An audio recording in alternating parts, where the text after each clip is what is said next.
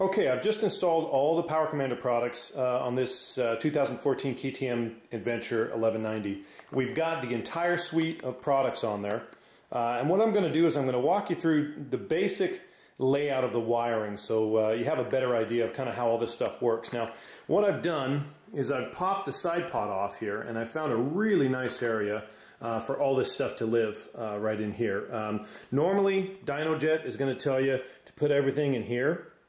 Uh, but what we found on this bike is uh, there's plenty of room in this side pod. Now, uh, if you've got a standard model, um, I don't think you're going to be able to run everything down in here because uh, I think this is where they put uh, some extra electronics that the standard model has that the R doesn't. So this is an R model, and there's nothing in the side. So there's actually this nice little bracket right here that's kind of ready to go so you can kind of zip tie to this bracket.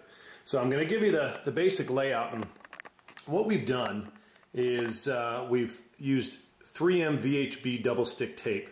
And I put the auto tune on top of the Power Commander 5 in this configuration. So you basically match up these corners right up here. And when you do that everything is accessible. You can get to the screws uh, for the uh, wideband O2 leads right here uh, from the back side uh, obviously before it's uh, zip tied you can get to those screws. You can get to the USB uh, up here you can get to the CAN cables back here. Uh, you can get to the inputs um, back here on the uh, uh, PC5. So when you lay them together in that configuration, uh, you can use some double stick tape and put them together like that permanently, and you can you can access everything.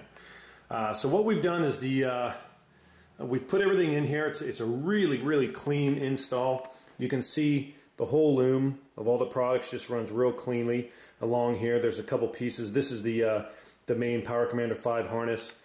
And then this is the, uh, the quick shifter wire right here that heads off to the left side. So I'm going to walk you through kind of in one take here uh, what we've done and how we did it. Um, so anyhow, uh, we started here. We've got the Power Commander 5 and the lead for the Power Commander 5 starts here and we've got it kind of curving around and coming to the right side of the battery. Now I've got an anti-gravity battery in there so it fits a little bit differently. But uh, either way, you still have room. So the main loom of the Power Commander kind of runs through here and then disperses itself uh, through the rest of the engine. And that most of that is pretty self-explanatory. You've got the, uh, uh this is where the uh, Power Commander 5 gets uh, its power and it tees into the fuel injectors right here. Uh, it's a real simple install. We've done another video on this one, but uh, we're just kind of walking you through that. And then moving up here, you've got your crank reference uh, sensor. And then there's just a ground to the battery, and that's really about it on this. Uh, there, you don't have to run any powers. You don't have to find any power that comes on with the key um, because uh, it's, it's all done internally uh, with these. So that's the Power Commander 5. That's a simple part. Now we've got the auto tune.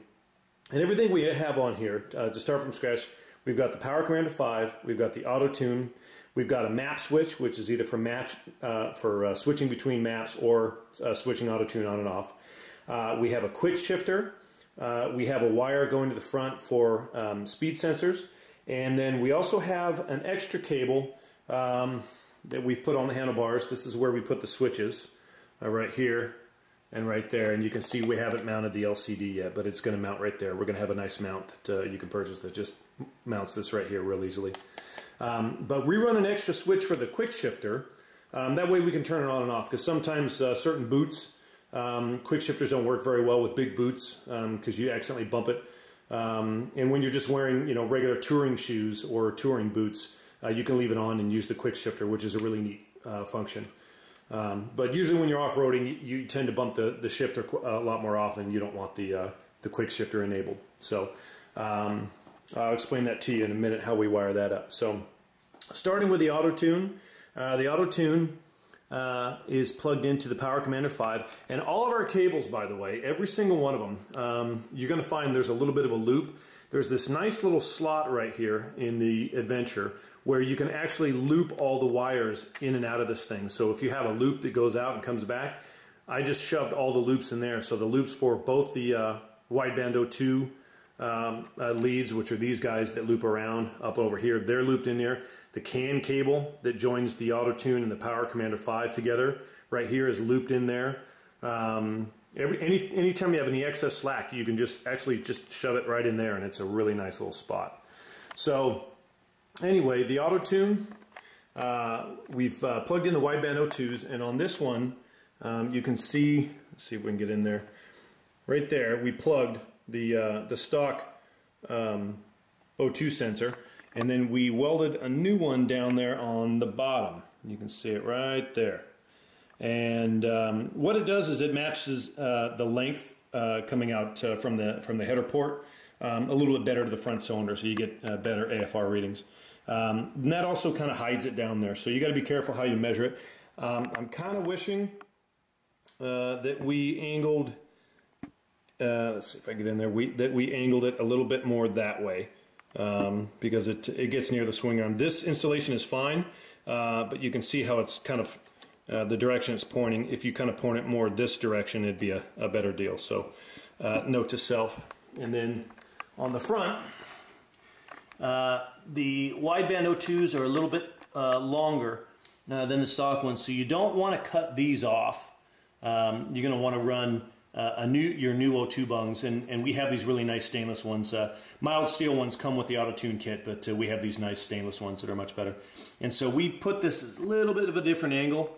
Uh, so it just comes up uh, here right underneath the uh, the water line, right here. So and we probably could have rolled this in uh, just a little bit more. But you can, what this allows you to do is go back and forth between stocks. So if you ever, you know, we've capped these off. We also sell these caps. Um, they're 12 millimeter O2 bung caps.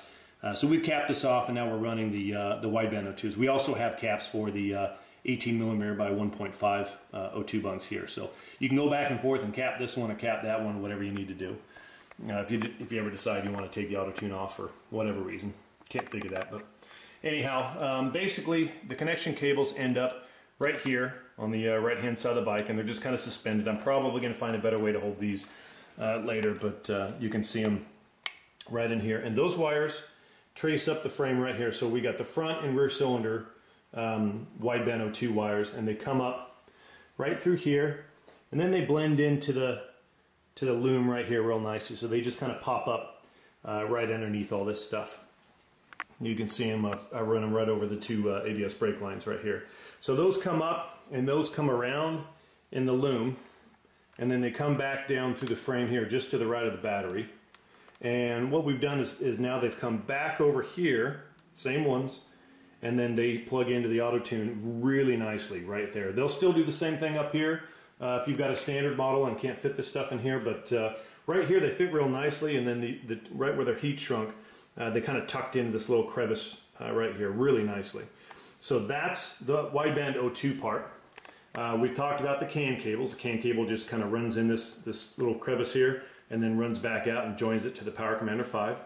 Um, and then uh, what else we've got? We've got, this is how we do um, the quick shifter right here. So basically we, we run one wire um, from the quick shifter uh, lead into the Power Commander 5 and then the second wire we run into uh, this little joint here. That wire then goes up all the way to the handlebars to that switch right there and then the other wire from that switch runs back and then plugs into the other port uh, where the quick shifter would have gone. So you basically just left two wires out and then ran those uh, two wires out to the switch. So one wire from the quick shifter lead, one wire from the, uh, the switch lead, doesn't matter which one, and then the two wires that are left over you just join. So what that does is that uh, makes the signals go through the switch. Uh, so you can turn it on and off. Uh, so that's a little kind of a, a trick that we do. Um, this red wire right here is the speed sensor wire that's run up to the front of the bike. Um, and again, that also runs through this loom, uh, right up through here, and it runs through the middle of this. We're going to move over to the other side of the bike now. And what we've done is we've tucked the two map switch wires, uh, the quick shifter switch and then the, the auto tune switch, and also the, uh, the CAN cable for the LCD screen is run in here. So there's four wires in here, and then we just attached it to the inside of the loom right here. Now, you don't have to take off the airbox to do any of this stuff, except for the Power Commander 5 you do, but for the auto tune you don't.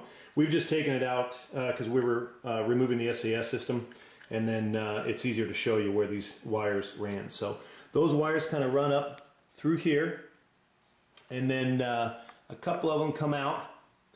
Um, whatever's on, like, I think, uh, let's see if we can get this lit right. Yeah. Uh, the CAN cable for the LCD goes up the left-hand side, and then the, uh, the map switch also goes up the left-hand side. And those guys run up right along here, and you just put them in these little rubbers here. And there we have our uh, auto tune switch or map switch, whatever we use it for. And then right here we've got our uh, LCD. Um, and then moving around to the other switch, we'll show you. This is our uh, quick shifter switch. We've run that uh, right inside this loom here. And that uh, runs down. Let's see if we can, sure if we can see it, but it's in that loom somewhere. Um, and that runs down, basically down through through this loom right here and it runs underneath uh, and runs runs down this way.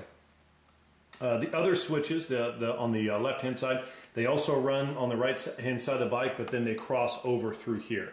So just try to find a nice a nice uh, uh, empty hole where you can cross it over and then uh, run up run up on the other side. Now the most important part we're going to talk about is how to power the auto tune. Now as I mentioned the Power Commander 5 is powered on its own. You don't have to find any power. Um, but the auto tune uh, needs to be powered and it needs to be switched powered. Now here's the trick. The, back underneath this seat there are some leads um, that are a ground and a power that's always on and then a ground and a power that's on when, it, when, the, when you turn the key. And these are for accessories.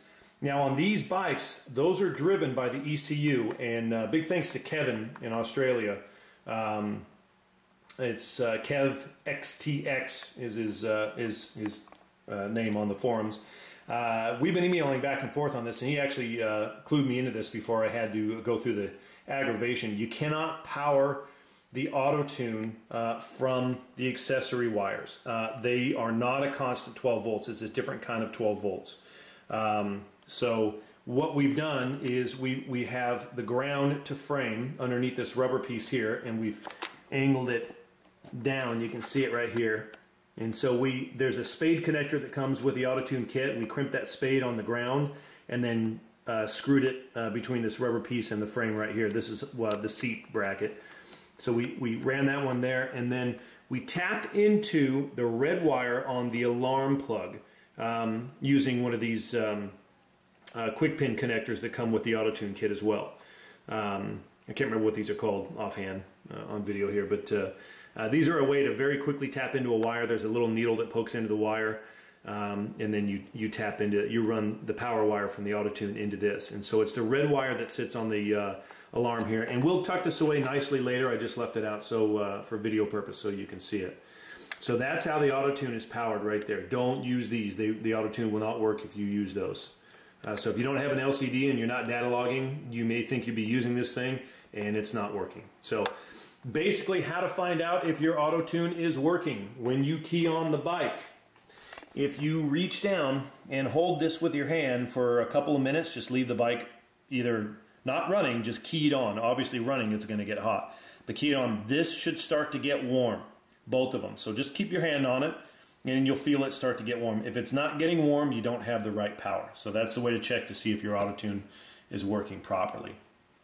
Uh, that's basically how the loom is run. This is most of it. This is most of the system right here. It tucks in very, very nicely. This bike was almost made for it.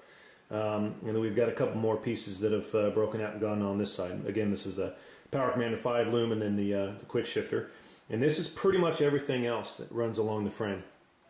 Uh, and then our O2s, our wideband O2s are going down and splitting out uh, to the front cylinder, which uh, Power Commander designates this is number one and this is number two, which is backwards from the way the KTM does it, but uh, you want to plug them in that way.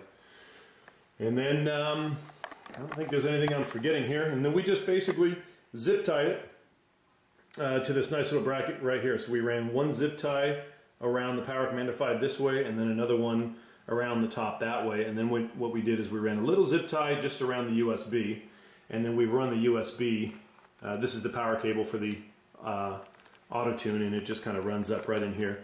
And then the, um, uh, the USB we've run and we've just parked it uh, right in here. And once this pod's on, you can actually shove this cable back in there.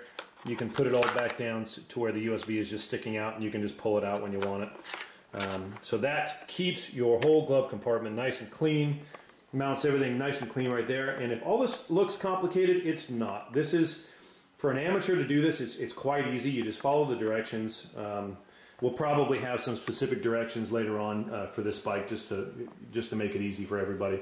But most of this stuff is plug and play, and you sit down, and, and it, will probably take about six hours to put all this stuff on, uh, which is not bad. You just take a Saturday, sit down, relax, and just move slowly and methodically.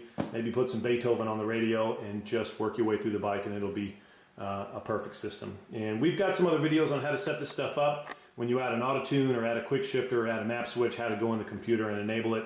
And uh, look for those videos as well. But uh, we'll be doing a lot of that stuff. So that's a basic overview of how to put all the uh, uh Dynojet uh, uh, Power Commander 5 products on the bike. We've got the whole suite running and we're looking forward to seeing how this bike works well. So thanks for watching our tutorial and check out our other videos for more information.